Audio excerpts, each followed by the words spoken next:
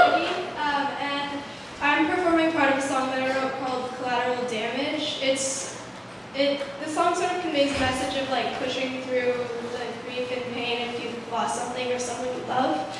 And um, it's, yeah.